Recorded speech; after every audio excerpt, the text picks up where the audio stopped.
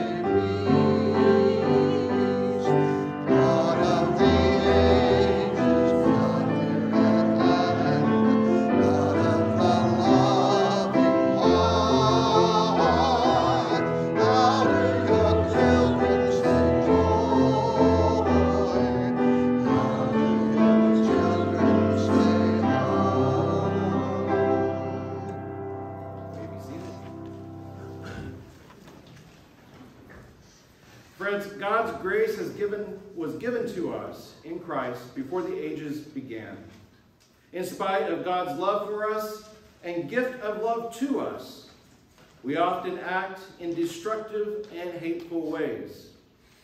Trusting in Christ's mercy that never ends, let us with honesty confess our sins before God and one another.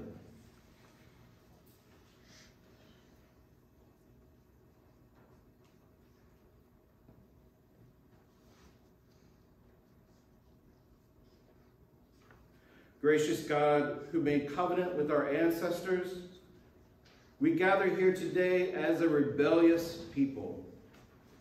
We want to act out our, your intentions for us, but we get sidetracked by the false glitter of the world. You tell us to honor creation, but we use other people, animals, and plants for our own gain. You offer bread to every living creature, and we steal that bread from our brothers and sisters in the name of greed. You promise us new life. But we shrink back in fear, clinging to our death-dealing ways. Heal us, O Lord, lest we destroy ourselves and the planet. We need your healing presence among us, that your good intentions for all of creation might be fulfilled at last. Through Jesus Christ we pray. Amen. Lord, have mercy. Lord, have mercy. Christ, have mercy. Christ, have mercy.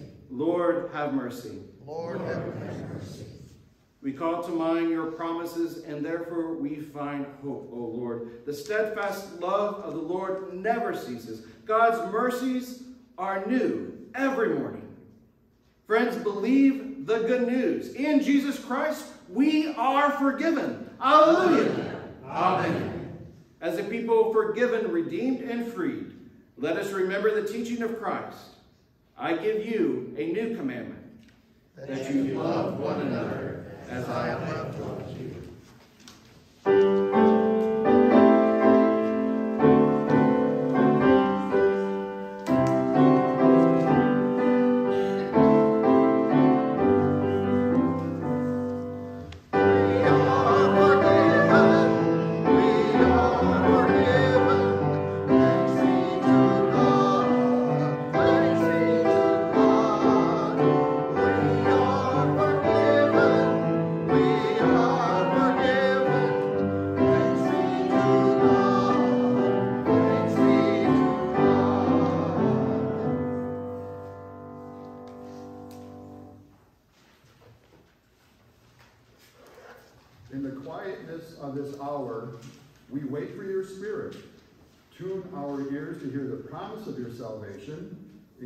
Incline our hearts toward your message of peace.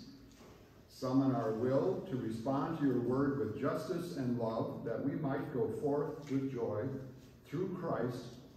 Amen. Our first reading this morning is from Habakkuk. The oracle that the prophet Habakkuk saw. O Lord, how long shall I cry for help and you will not listen? Or cry to you violence and you will not save? Why do you make me see wrongdoing and look at trouble? Destruction and violence are before me, strife and contention arise. So the law becomes slack, and justice never prevails. The wicked surround the righteous, righteous, therefore judgment comes forth perverted.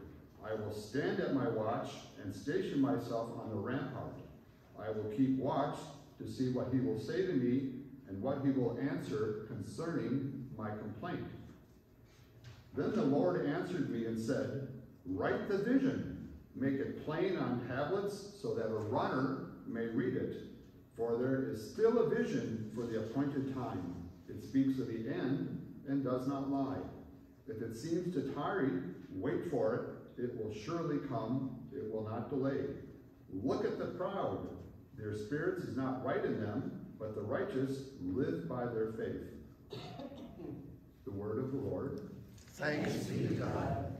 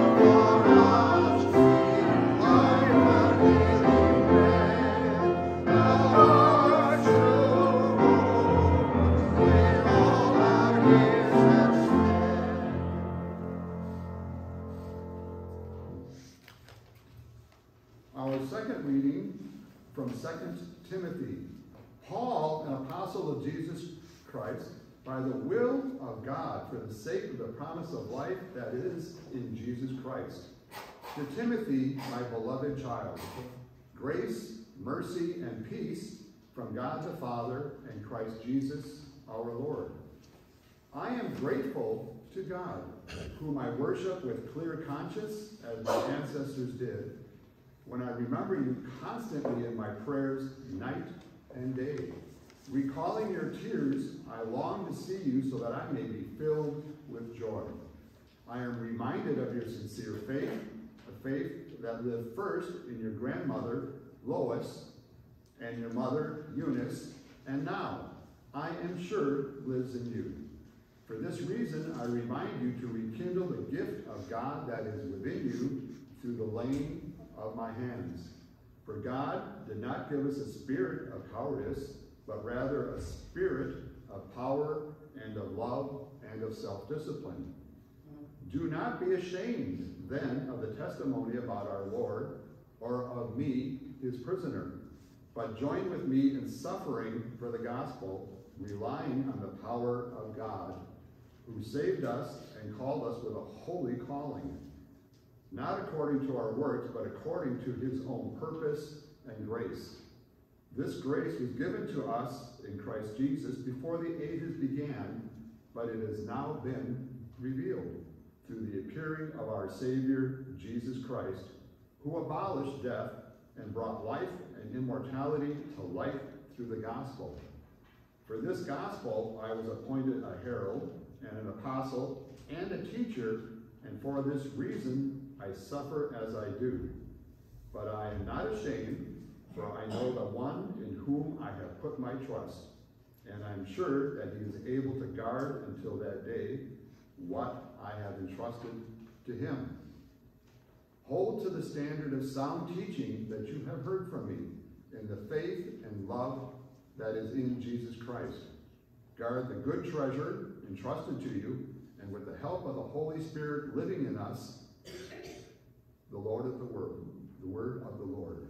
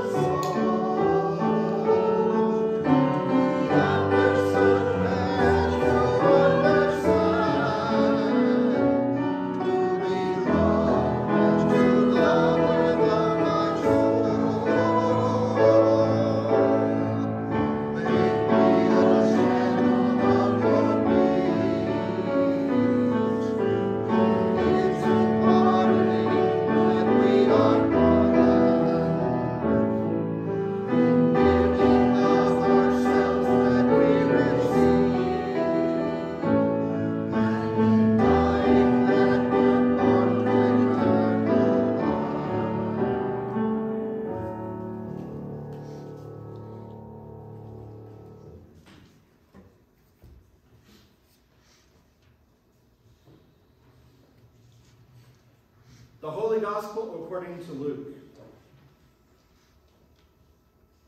The apostles said to the Lord, Increase our faith.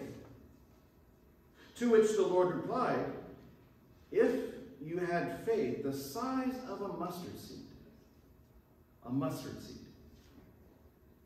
you could say to this mulberry tree, Be uprooted and planted in the sea, and it would obey you. Who among you would say to your slave who has just come in from plowing or tending sheep in the field, Come here at once and take your place at the table? Would you not rather say to him, Prepare supper for me, put on your apron and serve me while I eat and drink? Later, you may eat and drink. Do you thank the slave for doing what was commanded? So you also, when you have done all that you were ordered to do, say, We are worthless slaves. We have done only what we ought to have done. The Gospel of the Lord. Praise to you, Christ. The following hymn, it says the cantor will sing once, I'll sing second time, but it's actually kind of um, in what we like to call a call and response kind of form. You will hear me sing a phrase, and then you will sing it. Um, it looks really complicated when you look at it, but when you listen to it, it's very easy to just say what I sing. When we get to the last part that says, and then the mountain will move away, let's sing that a bunch of times because it's really fun. Mm-hmm. If you only have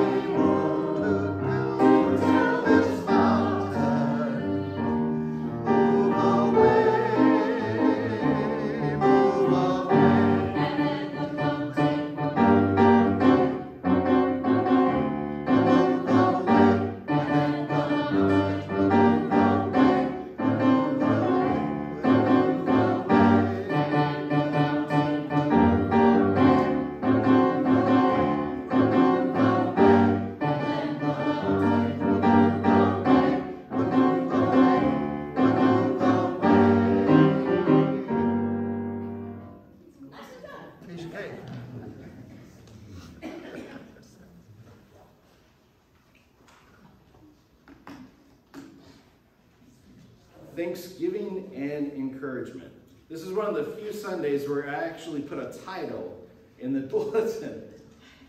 If anything, to be a marker to help remind myself and for us what today is about, especially as we gather together as a community of faith, as we gather today as a community of faith, not only in this place, but also throughout the world. As we gather on this day, as we celebrate the memory of Francis of Assisi, someone that showed humility, and humbleness in front of power, and who called for simplicity in life. And in that, constant thanksgiving and encouragement. Recently, one of the big gurus in business uh, management, consulting, and leadership development from uh, University of Pennsylvania, which Don may remember his name, and it's escaping me at this moment. Um, he does a lot of books and, and writings, and I quote him a lot on Facebook, but he's a good guy. It'll come to me. Yeah, it'll come to me too later on. While I eat my, my muffin during fellowship time. But, anyways, one of the things that he said is that in leadership, a true leader is one that is constantly providing not only vision and asking good questions, but one that is constantly also giving thanks, thanksgiving, and encouragement. And even to the point that sometimes leaders in their position start feeling a little run down because they are giving all this thanks and encouragement to their workers, but they don't get much from their bosses or from anybody else. And one of the things that this author, this guru, was saying is that in all actuality, really, if you do, if you need encouragement, it is giving encouragement to others. Because if you see it in the right light, when you're giving thanksgiving for somebody for what they're doing, and you're encouraging them, and you're equipping them, and all of that, then you get to see them blossom into what the potential they have. And as they blossom, even though they may not have words to say back to you of thanksgiving and encouragement, just seeing their life blossom and them do exactly what is needed in this particular time for what is needed. That is, for a leader, thanksgiving and encouragement. And that's kind of what we see in the letter of Paul to this young whippersnapper named Timothy. You know, Timothy, if you read Paul's letters, uh, many times what you'll see is Paul writing something and saying, you know, encouraging a congregation that is in trouble or in conflict and trying to get them to reroute themselves and to reorient themselves, usually to reorient towards Christ. Um, and then at the very end, he'll say, oh, and by the way, Tim says hi. so Timothy was kind of Paul's private secretary, a companion, uh, just like Luke was. But in this particular letter, we actually get to see a little bit more of this relationship that Paul has with Timothy. We get to learn that Timothy comes to this faith and to this apostolic work not out of nothing. He has been nurtured. He has been given encouragement, nurtured by his grandmother and his mother, these strong women of faith. And as I tell my New Testament class in the Bible, in the New Testament, anytime where you see somebody's named in the, in the scripture, that is important. These were two very important women of faith that probably not only nurtured and encouraged their relative, their son and grandson Timothy, but also probably whole congregations, whole communities of faith. From the historians that we have, we actually learn that these women were the center and the linchpin of the Christian community that was growing in that area. They were the ones that cared for the poor, the sick, the dying, the orphans, the widows. It sounds a lot like deacons, doesn't it? And Timothy saw this. And they encouraged his faith. They gave thanks for his faith as he grew. And when he was going off the road, they probably also gave him words of wisdom that only a mother and grandmother could give. And then we have Paul. Paul, who says that he was the best of the best of the Pharisees, of the people of faith, of the Jewish faith. He was a righteous man. He knew the laws of Moses left and right.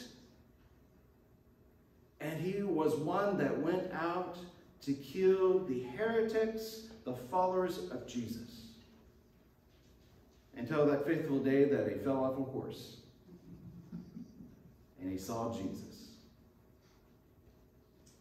Jesus asking Paul, Saul, which was his name at that time, why are you persecuting me?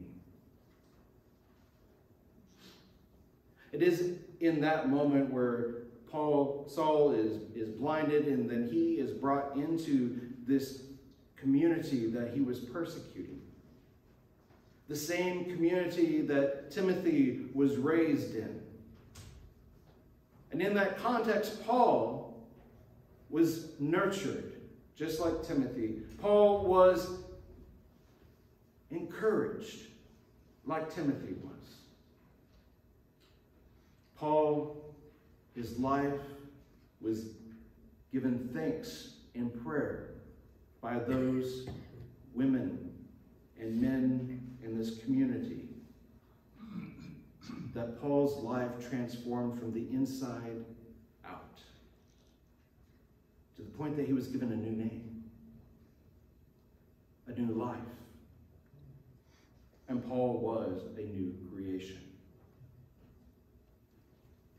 It is out of that relationship that he speaks to Timothy because when Paul speaks to Timothy, it is not so much as this father figure, although he is that in a sense, not as so much as the Greco-Roman patriarch that is talking down to a child. Paul is talking to a fellow brother, although he calls him a son because in many ways he is nurturing Timothy in the faith. But at the same time, there is this mutuality of love between Paul and Timothy. And so, just as much as Paul is giving words of thanksgiving for Timothy's life and his ministry and how he has blossomed in the world, and encouraging Timothy to continue on, that even though he is a young whippersnapper, Christ is with him. And he can do the ministry to which he has been called to. Just like Paul has done. In this letter to Timothy, this first letter, we see this transition period of the, the father, teacher, apostle, emissary of Christ. He is in, then shifting over and telling Timothy, even though I have ordained you with the laying on of hands, we are now equals in this ministry. In this ministry of preaching the good news of Jesus Christ, in this apostolic or ministry of being an emissary to the world, and in this ministry of teaching.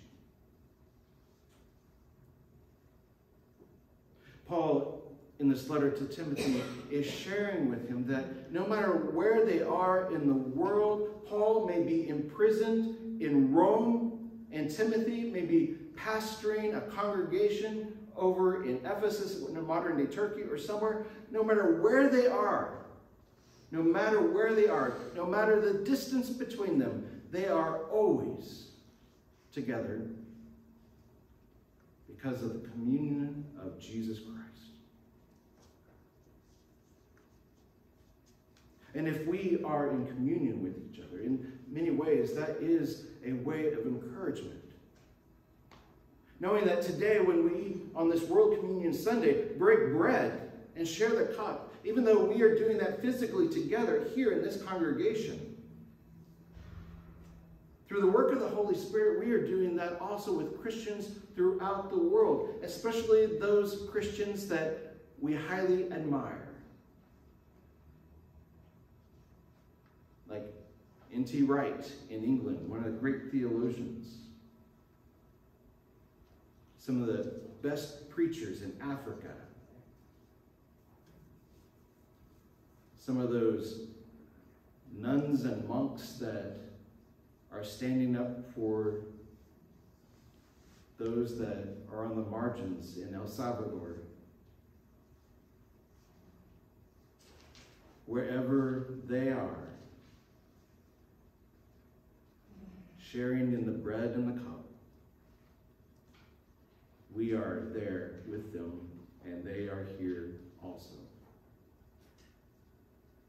For when we break this bread and share this cup, we are giving thanksgiving for every life that is in Jesus Christ. Whenever we break this bread and share this cup, we are giving encouragement to not only ourselves, but also to everyone who professes Jesus Christ as Lord and Savior. As we break this bread and share this cup, we are being encouraged by Jesus Christ himself, and he is giving thanks for our lives as we follow him.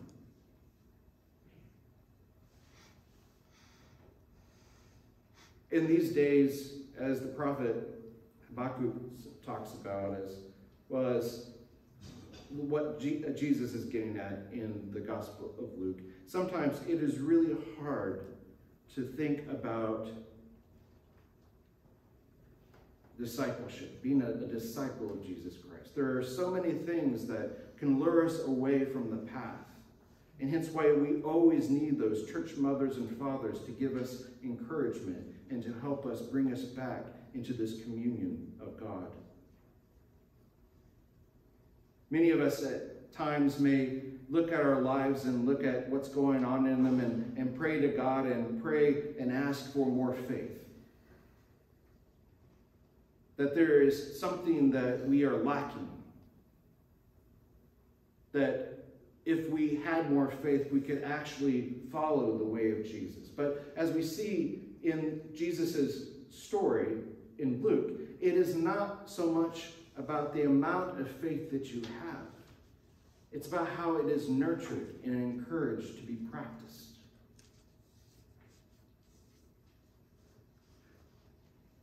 We all have faith. That is the gift of the Holy Spirit. But that faith has to be nourished, like through the bread and the cup, and love for one another. That faith also has to be watered like all plants, remembering our baptismal vows, what we have promised to God and to each other. We have to nurture this faith that we have been given so that it can grow strong and that it can be active in ways that God desires in the world today.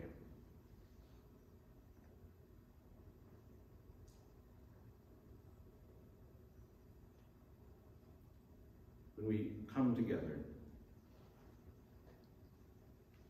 whenever we come together physically like today,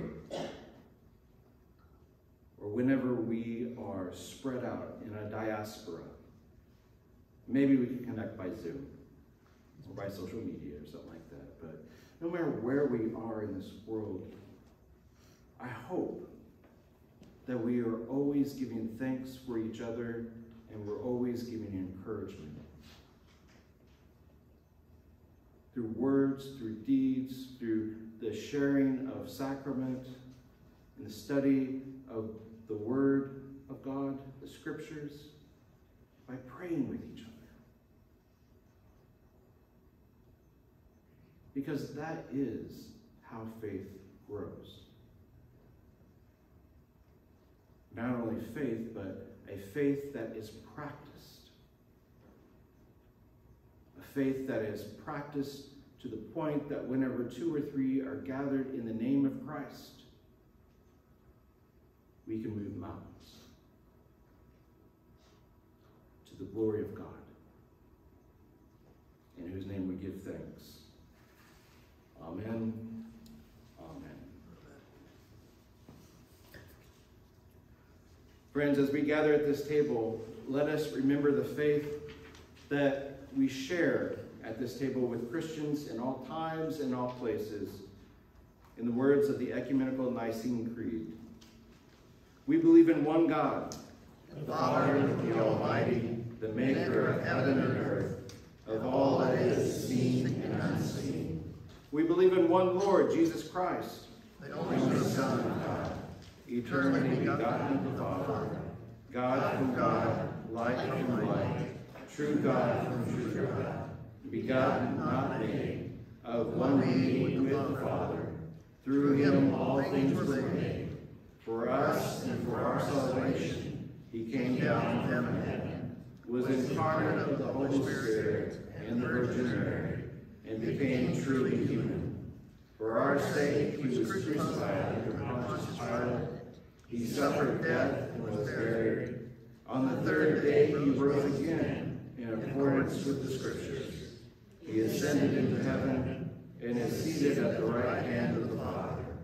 He will come again in glory to judge the living and the dead, and his kingdom shall have no end. We believe in the Holy Spirit, the Lord, the giver of life, who proceeds from the Father, who with the Father and the Son, he is worshipped and glorified. who has spoken through the prophets. We believe in one holy Catholic and Apostolic Church. We acknowledge one baptism for the forgiveness of sins, and we look for the resurrection of the dead and the life of the world to come. Amen. Let us prepare our hearts for our Holy Communion.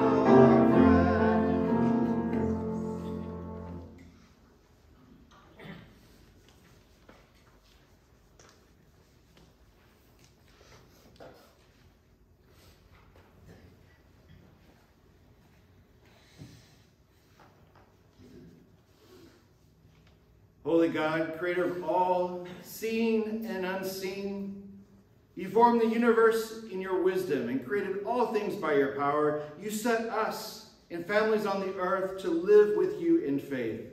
We praise you for good gifts of bread and wine and for the table you spread in the world as a sign of your love for all people in Christ.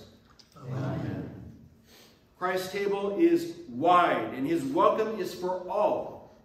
Jesus dined with sinners and saints, with farmhands and foreigners, with disciples and doubters, with children and cherished friends, with the outcast and the outspoken, with lepers and loved ones.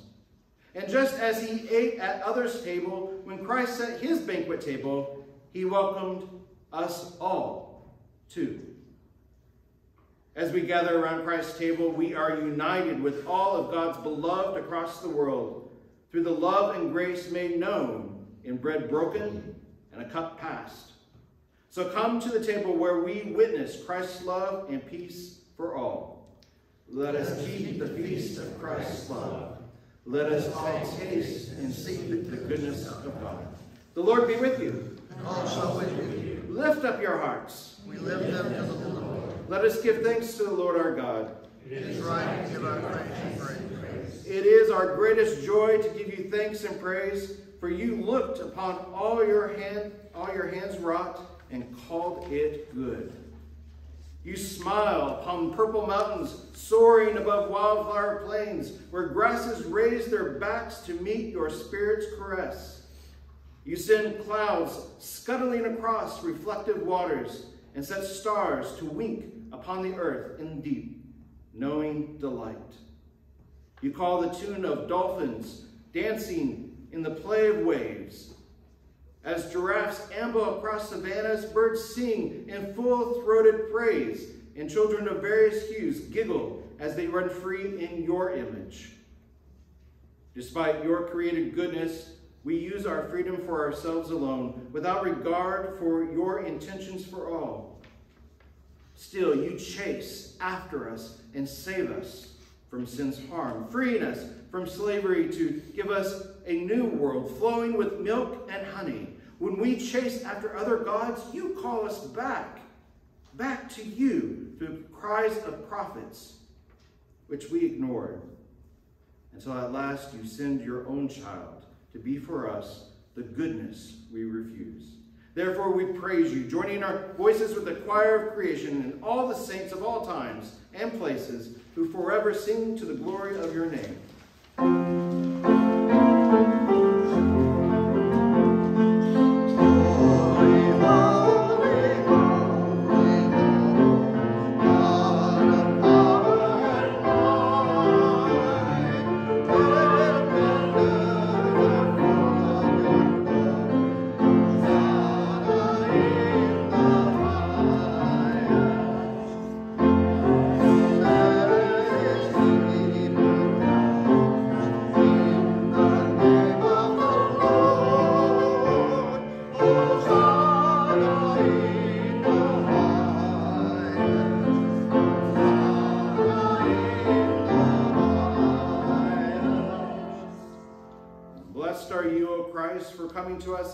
Child to live baptized in the muck of our fallen world.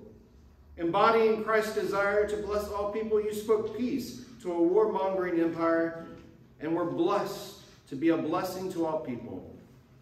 When threatened with the terror of crucifixion, you did not keep silent but stood up with resurrection new life to turn the bread of human affliction into manna from heaven and to turn the bitter dregs of sin into the cup of joyful celebration. So as we await your coming among us in the fullness of your sovereign glory, we proclaim the mystery of faith.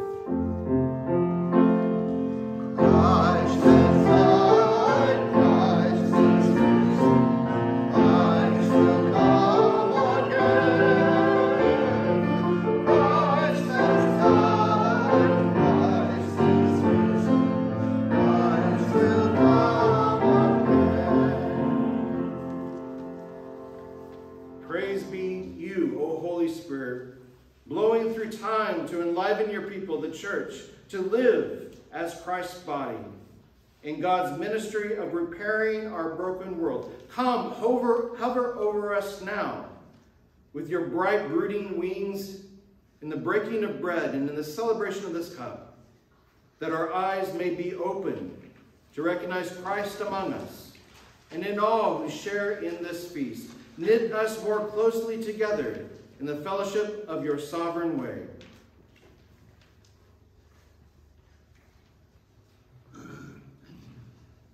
We offer ourselves, our lives, our resources. To be your hands reaching into the world. With your unfathomable compassion, fill us like breath fills flutes. To be instruments of your peace. Where there is lack of regard for your creation, Prod us to speak up. where people fail to see the dignity of all persons, Open blind eyes. where there is silence about others being hurt. Impassion us with a desire for justice. Lord, your creation groans under abuse.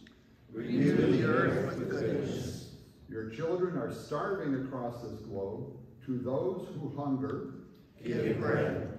and to those who have bread, Give hunger for justice. people languish in prisons, some unjustly, some without repentance, and some for standing up for your way. Release the captives, Lord. O God, our sovereign, leaders in all lands take bribes and afflict their peoples. Topple oppressive powers with your rule, and send the rich empty away. Your church luxuriates in the comfort of faith.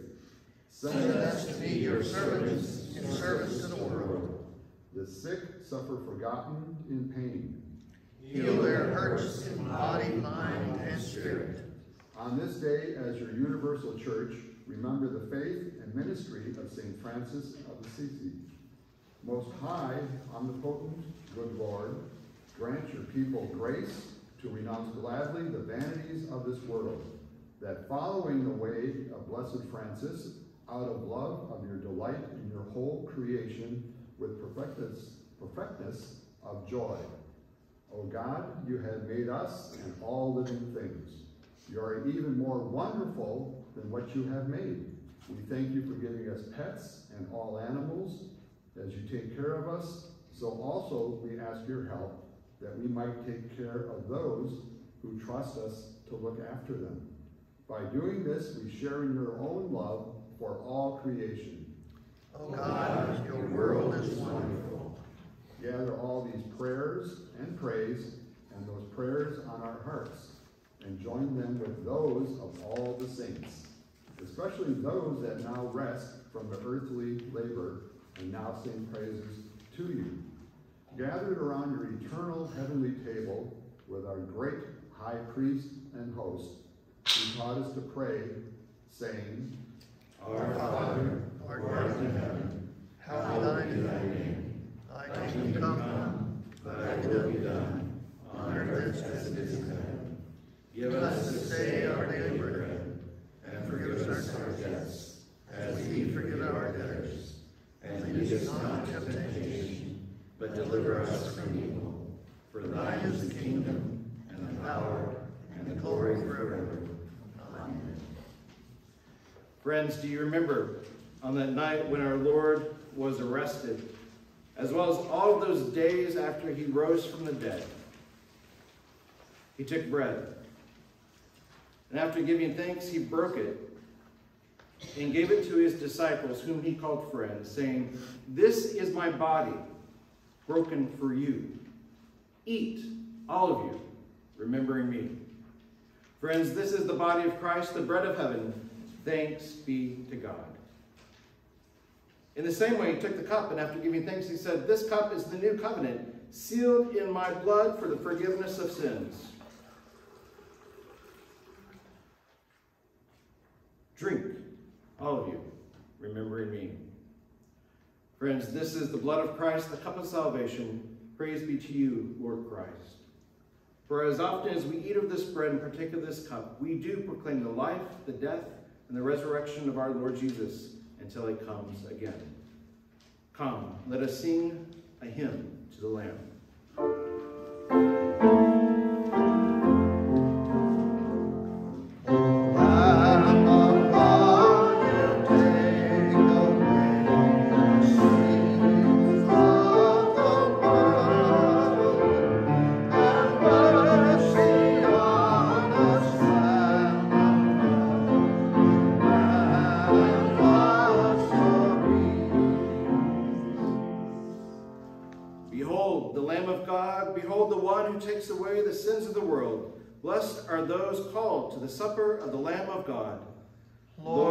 Not worthy that you should enter under my roof, But only say the word, and my soul shall be healed.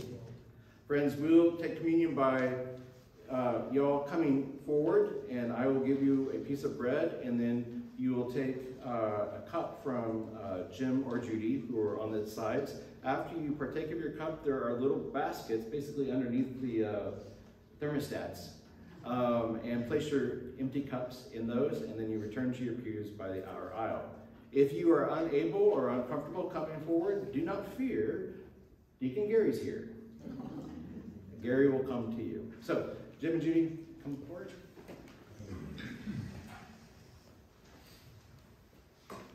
Gary?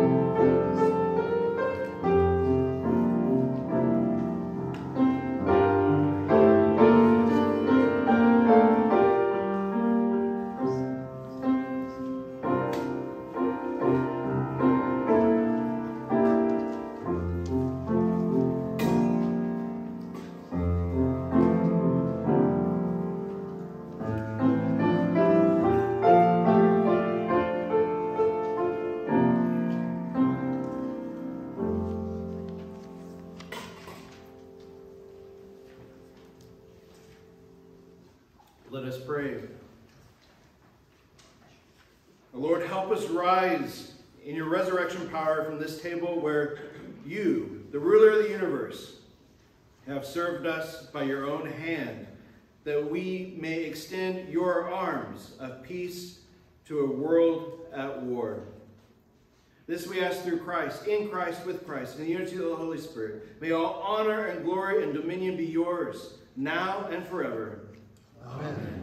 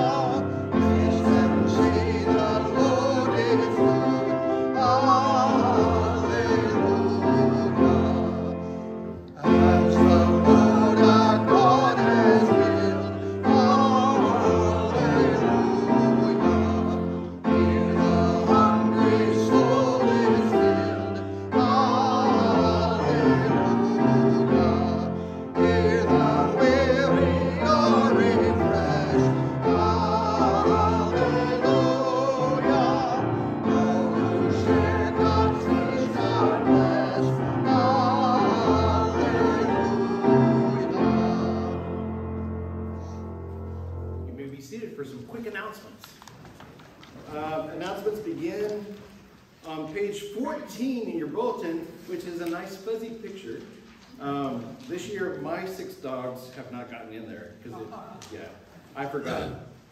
Um, on page 15, uh, birthdays this week, please remember and uh, give thanks for Jason, Lou, Marcia, John, uh, Kathy, Andrea, and Celise.